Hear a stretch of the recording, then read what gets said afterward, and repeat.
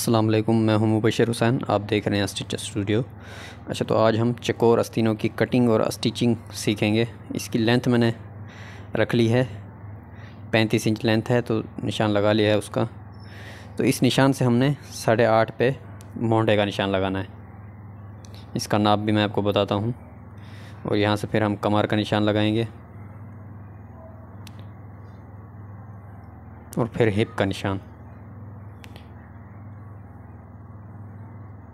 ऊपर से इक्कीस पे भी लगाते हैं, साढ़े इक्कीस पे भी, इक्कीस पे भी साइज़ के हिसाब से। ये निशान हम सीधे कर लेंगे। अच्छा तो ये देखिए, इसका शोल्डर चौदह इंच है चेस्ट बीस है, कमर साढ़े अठारह है और हिप बाईस है। तो यहाँ से हम शोल्डर का जो है, चौदह इंच हमारा शोल्डर तैयार है तो साढ़े सात इंच का निशान लगाएँगे हम। यहाँ से भी साढ़े सात इंच। ये निशान हम सीधे कर लेंगे।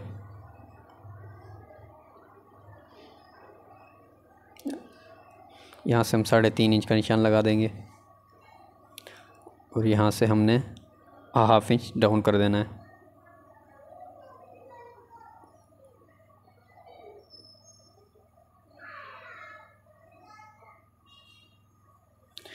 यहाँ से हम चेस्ट का निशान लगा देंगे। चेस्ट हमारा बीस है। तो बीस का हाफ़ दस बनेगा तो दस इंच में हमने एक सूत एक्स्ट्रा रखना है।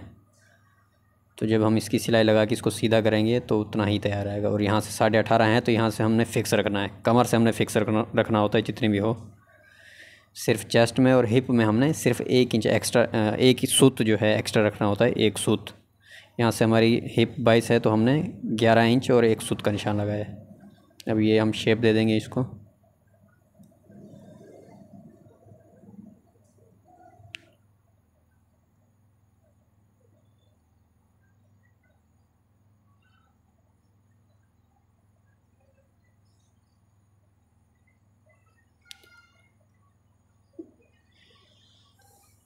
ये बैक फ्रंट हमने एक साथ कटिंग करने हैं। यहाँ से भी हम एक साथ ही कटिंग करेंगे। सिर्फ़ इस चकोर में ऐसा ही कटिंग होती है कटिंग करते हैं, एक साथ, फ्रंट और बैक को।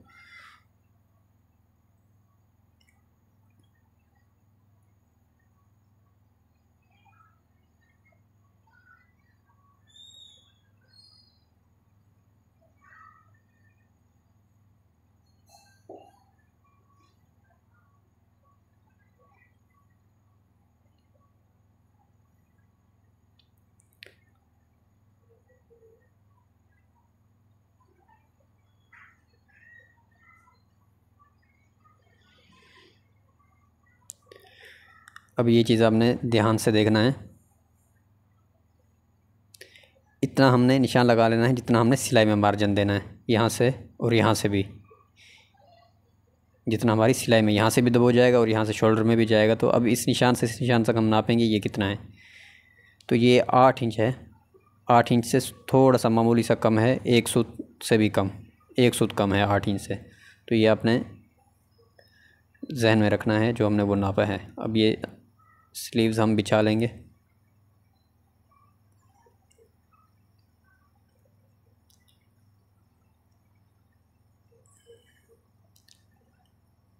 लंबाई हमारी साढ़े उन्नीस है तो हम यहाँ से बीस पे निशान लगाएँगे, नीचे से मार्जिन छोड़ के।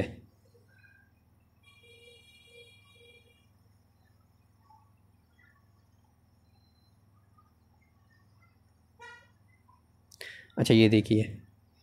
इस जगह से इस निशान तक हमने इसको नापना है, ये कितना है? ये आठ इंच से एक सूत कम है, ये आठ इंच से एक सूत कम है तो यहाँ से ये देखिए हमने, उतना ही यहाँ से निशान लगाना है।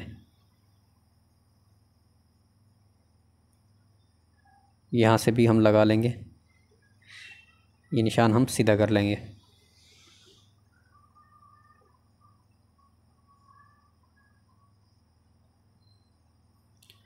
कटिंग हम इस निशान वाले, इस निशान पे करेंगे जो हमने अभी लगाया था। अब ये ये भी अपने ध्यान से देखें इस निशान से, इस निशान तक हमने नापना है। ये है तीन इंच एक सूत। तीन इंच एक सूत है। तो यहाँ से हमने तीन इंच एक सूत का निशान लगा लेना है।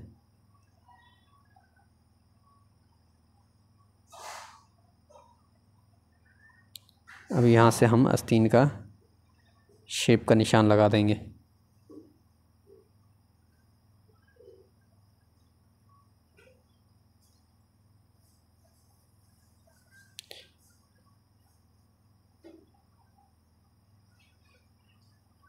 यहाँ से इस निशान पे।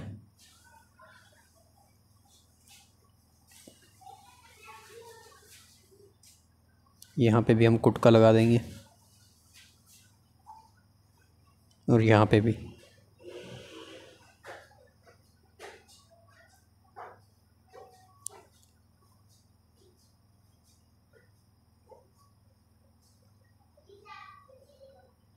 तो इसका हमने गला बना लिया है, शोल्डर जोड़ लिए हैं, साइडें नहीं निकाली हैं।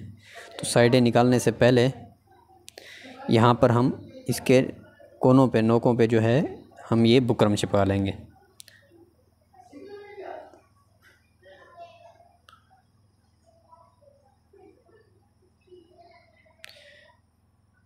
इस तरफ़ से भी हम बुकरम चिपका लेंगे। ये मैं थिन कैनवास चिपका रहा हूँ, इस पर ज़ीरो वाली बुकरम। आप पेपर बुकरम भी चिपका सकते हैं। इससे जो मोटी वाली होती है, अगर ये नहीं है आपके पास तो।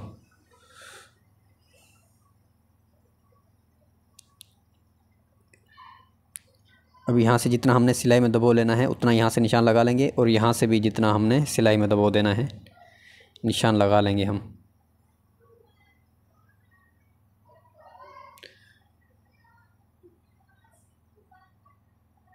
और फिर इस तरह से निशान लगा के इसको हम कट करेंगे।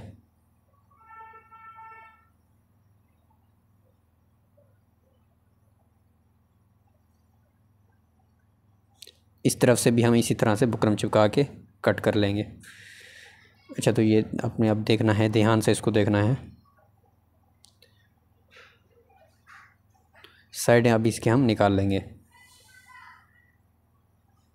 साइडें निकालने के बाद इसको इस तरह से रख के स्लीव्स का जो सेंटर है, इस सेंटर को हमने शोल्डर के सेंटर से मिलाना है और सेंटर से ही हम सिलाई शुरू कर लेंगे।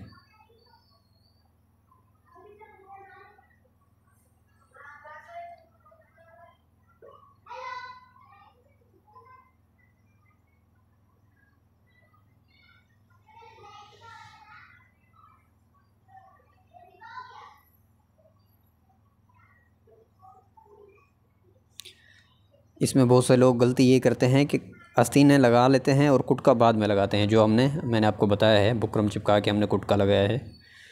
तो इससे ये, इसकी नोकें भी सही बन जाती हैं, उसमें कोई जो है, वो झोल नहीं आता है।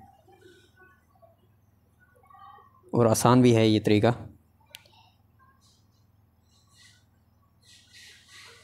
अब इसी तरह से इस तरफ़ से भी इसकी सिलाई हम लगा लेंगे।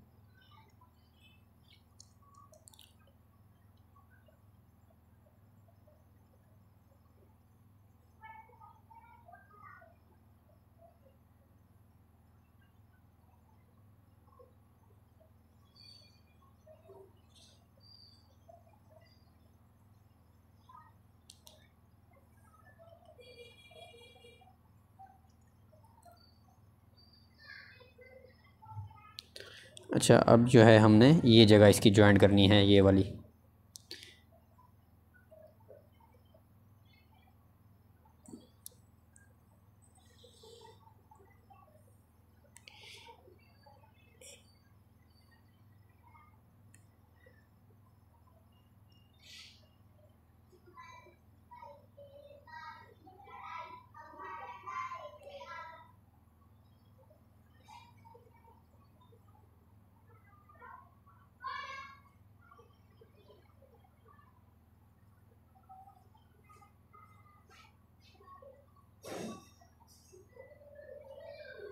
और इस तरफ़ से भी हम इसको जोड़ लेंगे।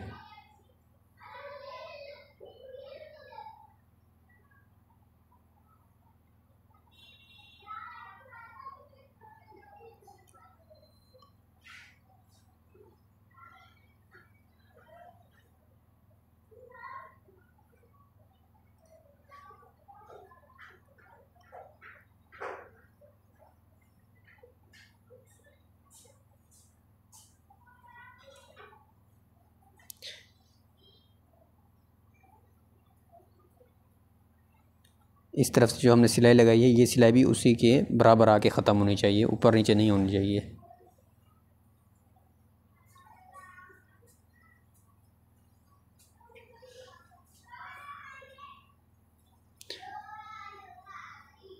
अब हम ये आस्तीन की जो है, ये सिलाई लगा लेंगे आस्तीन को हम बंद कर लेंगे। यहाँ से हम ये सिलाई शुरू कर लेंगे। साइड का दबाव हटा के।